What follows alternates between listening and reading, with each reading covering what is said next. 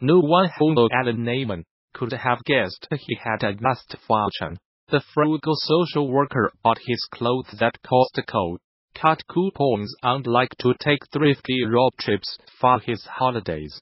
But when he left $11 m 8 7 meter to local charities, friends say they were not surprised by his generosity. Naiman died in January 20th, 18 of cancer at age 63 in Seattle, Washington. I think everyone was shocked, I mean really shocked, that he had so much money to give away, says his friend Mary Monahan, who worked with Naiman at Washington State Children's Services. Soon after being diagnosed with cancer, he told her that he would donate everything he had to charities upon his death. People will be surprised at the amount. She recalls him saying, Jack, people were I am sure very surprised. She owed the BBC. Naiman left a lucrative banking career to work with children 30 years ago. Ms. Monahan believes his experiences working with children in social services, many of whom had disabilities, inspired him to put others first. I guess he thought he had what he needed, and a lot of other people did not have what they needed. She says, the kills that came into care got into Alan's heart.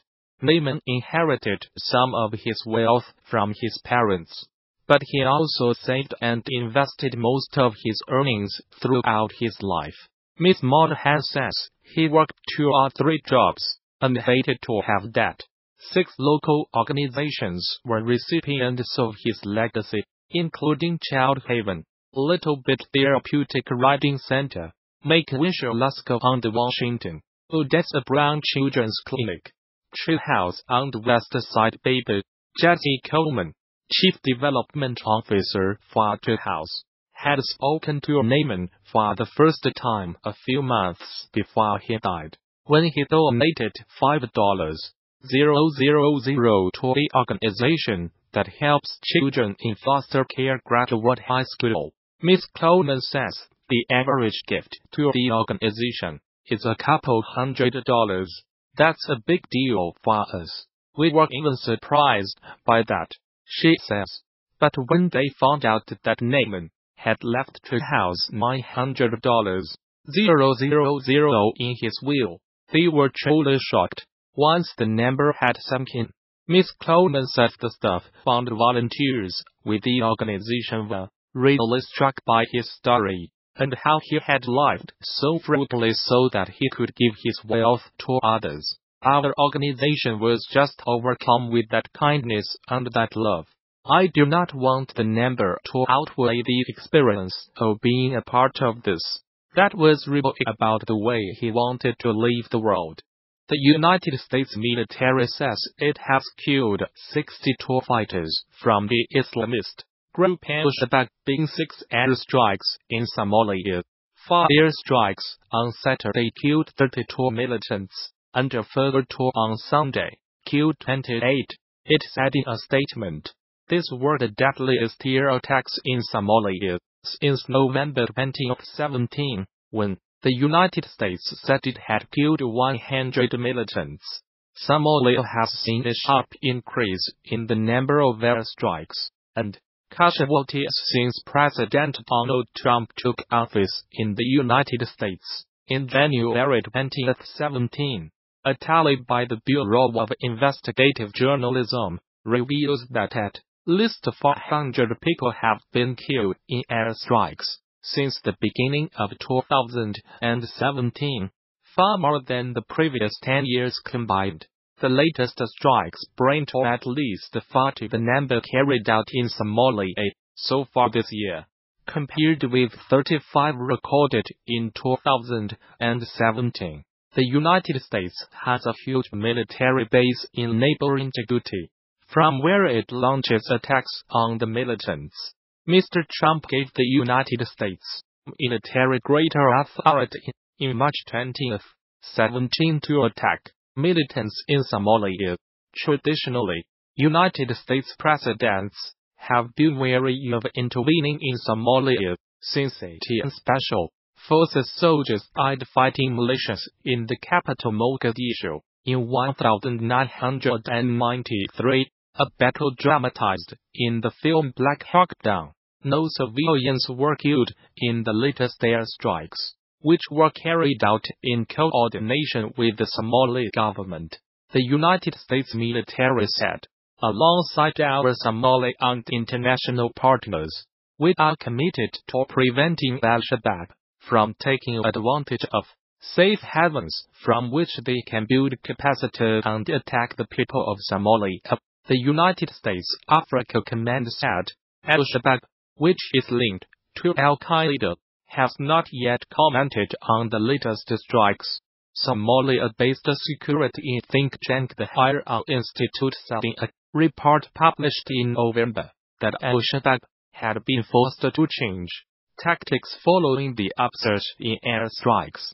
The institute said the group was now conducting fewer mass attacks on military bases, but attacks on government offices and businesses which refused to pay its taxes had increased markedly.